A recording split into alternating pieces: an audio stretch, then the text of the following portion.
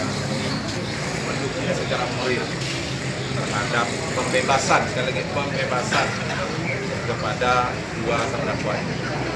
Semoga mereka bisa bebas murni tanpa syarat. Karena satu, peladang bukan penjahat dan berladang bukan kejahatan. Itu yang perlu ditegaskan.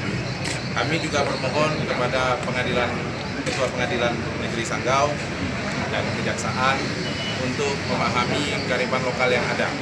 Apa pun yang dilakukan mereka bukanlah untuk orientasi bisnis, tapi untuk hidup makan mereka sehari-hari.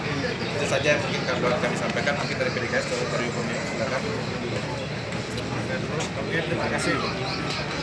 Kami dari Pemuda Dayak Gunung Sanggau, saya sebagai perang Pemuda Dayak Gunung Sanggau, menyerahkan sikap dan dukungan kepada saudara kita yang hari ini akan disidangkan dan dukungan moral ini kami tidak mengundang saudara-saudari yang dari kampung tapi ini adalah naruni.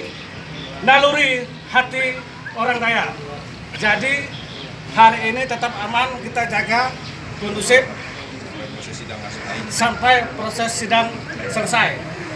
Dan saya tidak juga menjamin kalau nanti terjadi proses sidang juga belum selesai beberapa hari kemudian. Jadi kami akan tetap juga menuntut dan datang untuk dukungan moral selanjutnya.